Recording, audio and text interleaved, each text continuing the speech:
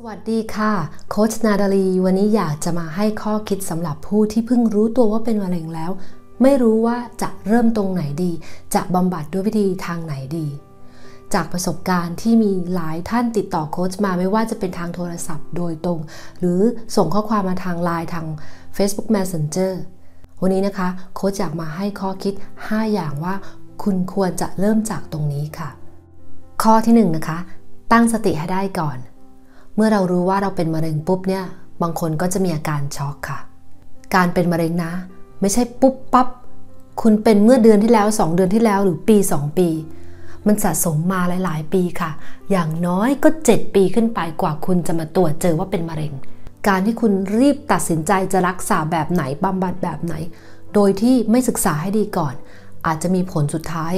ทำให้เกิดผลเสียมากกว่าผลดีได้นะคะ อย่างที่ 2 ที่โค้ชแนะนำนะคะ อยากให้คุณศึกษาเรื่องมะเร็งให้เข้าใจ ให้ท่องแท้ก่อนค่ะว่ามะเร็งคืออะไรกันแน่ แล้วมันกระจายได้ยังไง แล้วตัวคุณเป็นมะเร็งได้ยังไง คุณลองกลับมาวิเคราะห์ตัวเองดูนะคะว่า ภายในเมื่อ 10 ปี 20 ปีที่แล้ว หรือแม้แต่กระทั่ง 30 ปีที่แล้วเนี่ยคุณมีนิสัยยังไง คุณทานอาหารแบบไหนทำตัวแบบไหน นอนหลับดีไหมออกกำลังกายบ้างหรือเปล่าทำงานหนักเกินไปหรือเปล่า สิ่งเหล่านี้นะคะ คุณจะต้องรู้ให้ได้ว่าคุณเป็นมะเร็งได้ยังไง ถ้าคุณไม่รู้แล้วคุณจะบำบัดมะเร็งได้ยังไง แล้วถ้าเกิดคุณแก้ที่ปลายเหตุ มะเร็งมันสามารถกลับมาอีกได้ค่ะ อยากจะให้กลับมาดูตัวเองเข้าใจจริง ๆ เลยว่า มีอะไรบ้างที่ทำให้คุณเป็นมะเร็งได้ อาจจะมีสาเหตุจากหลาย ๆ อย่างไม่ใช่แค่อย่างเดียว ปัจจัยเหล่านี้นะคะ ไม่มีใครบอกได้ นอกจากว่าเราบอกตัวเราเองค่ะโค้ชทำวิดีโอไว้ ให้ศึกษากันหลาย ๆ อย่างว่า สาเหตุของมะเร็งเกิดจาก 2 สอ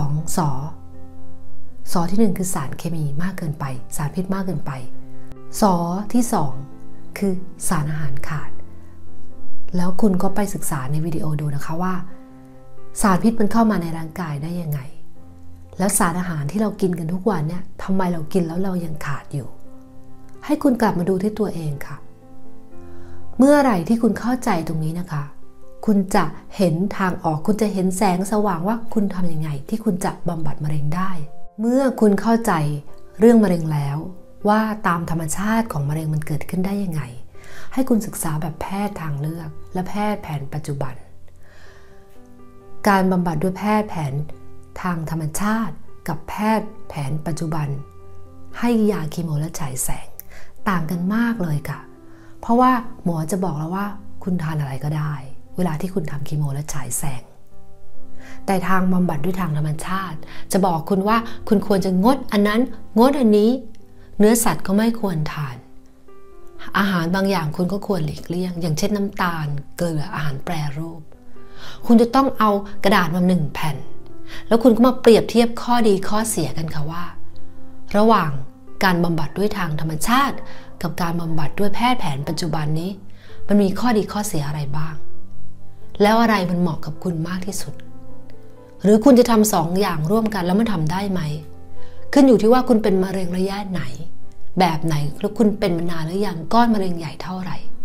สิ่งเหล่านี้ปัจจัยเหล่านี้สำคัญ และบางทีเราก็สับสนว่า แล้วตกลงเราจะทำแบบไหน ทางธรรมชาติก็มีแบบหลายแบบ คุณลองเอาข้อดีข้อเสียแต่ละอย่างมาเปรียบเทียบกันดูค่ะ ข้อที่ 4 นะคะ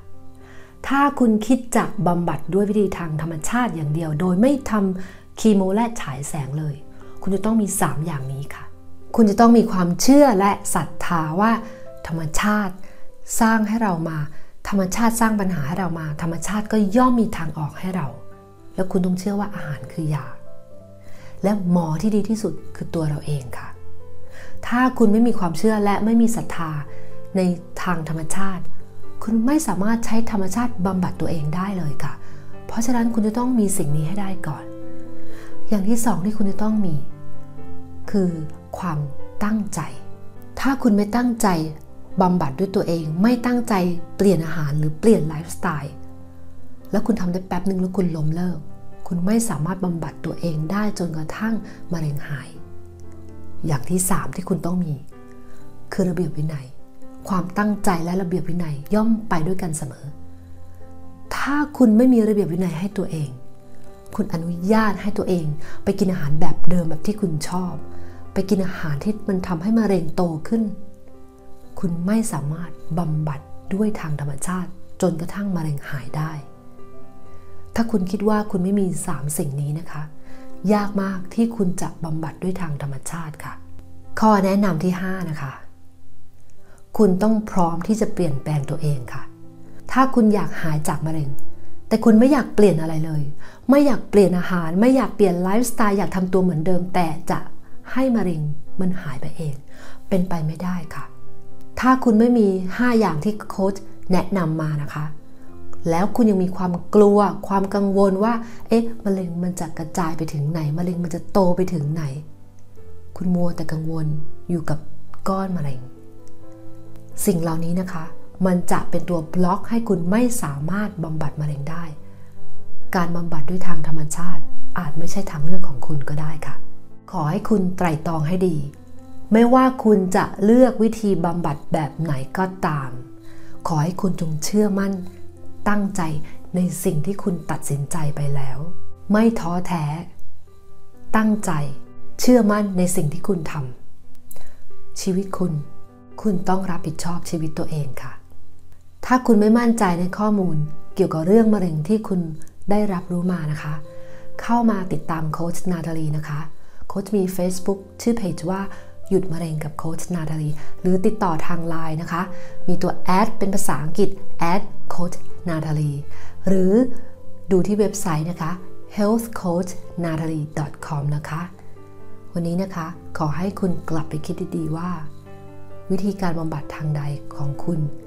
ที่คิดว่ามันเป็นวิธีที่ดีที่สุดกับตัวคุณ ไม่มีใครตอบเราได้ค่ะ วันนี้สวัสดีค่ะ ถ้าคุณคิดว่าวิดีโอนี้มีประโยชน์อย่าลืม subscribe ที่ channel นี้นะคะ กดไลค์กดแชร์ไปให้เพื่อนๆด้วยนะคะ คุณจะได้รับข่าวสารข้อมูลเกี่ยวกับเรื่องสุขภาพ จากนักวิจัยชั้นนำทั่วโลกนำเสนอโดยโคชนาธารีจากอเมริกาค่ะ วันนี้ขอลาไปก่อน สวัสดีค่ะ